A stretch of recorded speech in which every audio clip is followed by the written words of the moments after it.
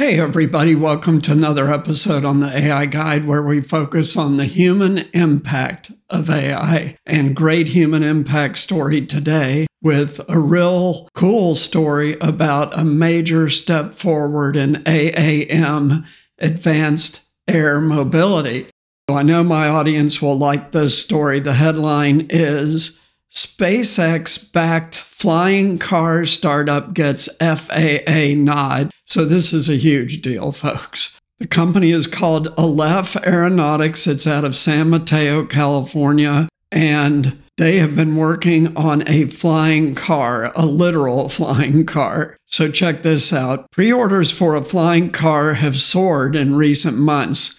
This has led industry experts to question how close we are to small passenger vehicle flight.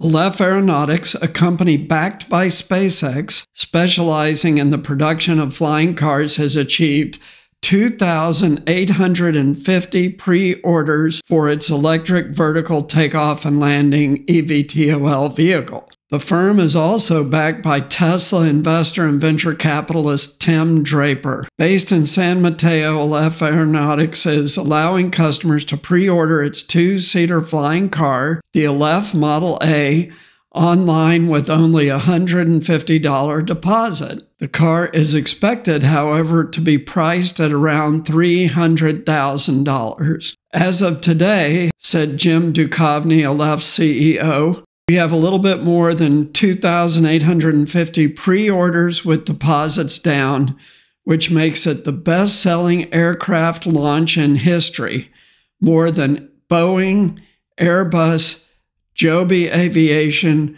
and most of the other EVTOLs combined. And we'll talk about the other EVTOLs in a minute.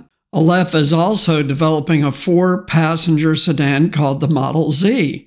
It is expected to become commercially available for the much lower price of 35,000 in about 10 years. So that gives you a very good idea of the arc of technology from a cost perspective. The first one is super expensive with something new, and once it hits mass production, much more affordable. Over the last year, Alef has been recognized for the significant progress it has made. So, by the way, if you like this so far, please like, subscribe, and share. Also, please support us on Patreon, link below. We really need your help to support and grow this channel. Thank you so much. The company first unveiled a half size model of the vehicle at Mobile World Congress, catching the attention of consumers and automakers worldwide.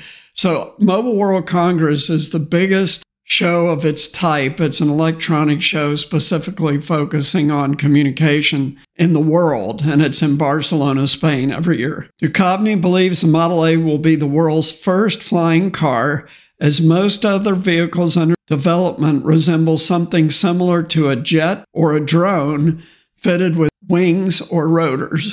Dukhovny said this will be a regular car, drive it, park it, the look, everything just like a car, except it will also have vertical takeoff. So, what are the capabilities of the car? The aim is for the car to be capable of being driven on the road similarly to a regular EV at speeds between 25 and 35 miles per hour, as well as used to fly in any direction using its eight propellers, where it will reach speeds of up to 110 miles an hour. So, this thing will move in the air. As it is expected to weigh just 850 pounds, it can be classed as a small EV, making it much more likely that regulatory bodies will approve the car for flight as early as next year, 2025. Alef initially started working on its concept car in 2015, producing the first prototype of the Model A in 2019.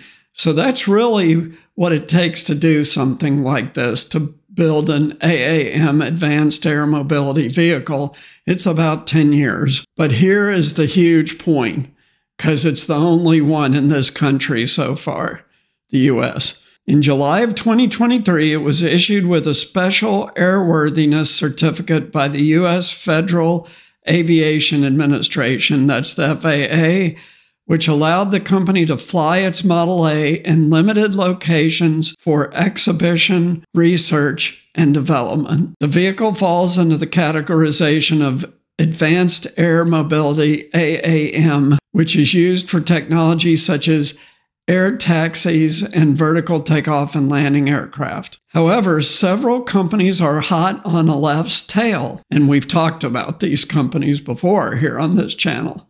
The eVTOL producer Joby Aviation is constructing a manufacturing plant at the Dayton International Airport in Ohio. The company hopes to begin producing up to 500 aircraft a year at Dayton starting in 2025. So this thing is going into production next year also. Joby is focused on the flying taxi market, designing its tilt rotor eVTOL to carry a pilot and four passengers at speeds of up to 200 miles an hour. So, by the way, this is going to flat out revolutionize air travel. Why?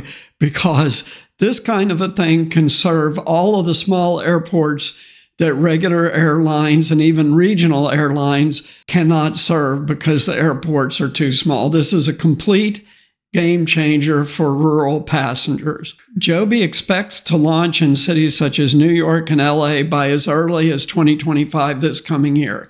So this is all going to happen very quickly now, and it's been under the radar for almost 10 years already. The German startup Lilium is developing an eVTOL to serve as an air taxi for up to five people with a range of around 300 kilometers. That's about 230 miles for US people, and a top speed of 300 kilometers per hour. That's 230 miles per hour, so it's even faster than the Joby. And by the way, there's plenty of videos of the Joby and Lilium's test flying on online. In December, Lilium signed a Memorandum of Understanding, an MOU, with the air carrier Lufthansa to explore a strategic partnership on eVTOL aircraft operation in Europe. So, in essence, Lilium would become a feeder airline from small airports to Lufthansa at its big airports. The two companies plan to explore ground and flight operations, future aircraft maintenance, as well as crewing and flight training. We are thrilled to explore opportunities on bringing eVTOL flights to Lufthansa customers, said Klaus Roewe, the CEO of Lilium.